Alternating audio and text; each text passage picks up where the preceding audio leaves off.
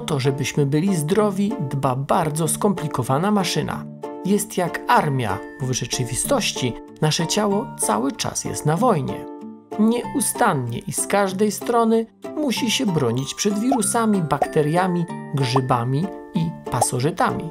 Na szczęście nasz organizm ma wiele sposobów, by je przezwyciężyć. Najprostszy z nich to niewpuszczenie wrogów do środka. Skóra, dopóki nie zostanie uszkodzona, na przykład skaleczona, dla większości bakterii czy wirusów jest murem, przez który nie potrafią się przebić. Z kolei nasze drogi pokarmowe i oddechowe dodatkowo pokryte są warstwą śluzu, który działa jak klej, który przytrzymuje wszystkie zanieczyszczenia. Dodatkowym zabezpieczeniem są substancje chemiczne, które produkuje nasze ciało. Najpotężniejsza broń chemiczna wytwarzana jest przez komórki żołądka. Żrący kwas solny niszczy większość wrogów, którzy trafią do nas wraz z jedzeniem. Ale to wciąż nie wszystkie linie obrony. Kolejne zabezpieczenie to bakterie. Nie wszystkie ich odmiany są dla nas szkodliwe.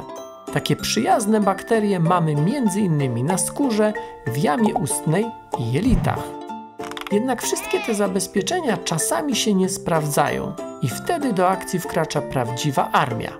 Ta armia to układ odpornościowy, zwany też immunologicznym.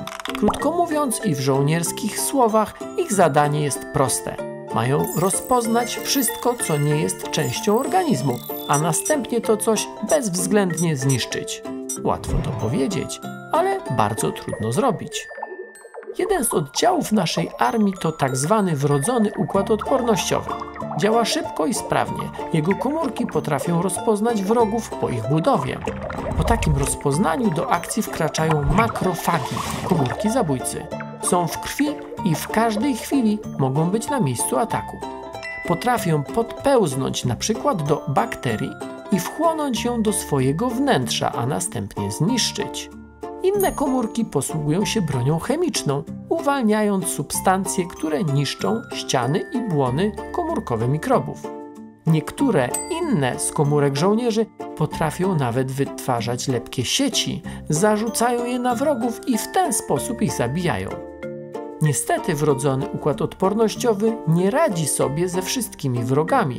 Niektórzy z nich mają tak nietypową budowę, że organizm nie potrafi ich rozpoznać ale nic straconego. Nasza armia jest bardzo zdolna i potrafi się uczyć. Doświadczeń nabywa podczas tych walk, które są dla nas niestety przegrane, czyli podczas choroby. Ale równie skuteczna jest nauka dzięki szczepieniom. Gdy nawet po czasie komórki układu odporności spotkają na swojej drodze bakterię lub wirusa, który wcześniej został rozpoznany jako wróg, atakują go i niszczą, ta pamięć układu odporności może trwać nawet 10 lat. Skóra, warstwa śluzu, pożyteczne bakterie, oddziały szybkiego reagowania i regularna armia. System automatycznego rozpoznawania wroga i żołnierze, którzy uczą się w trakcie potyczek.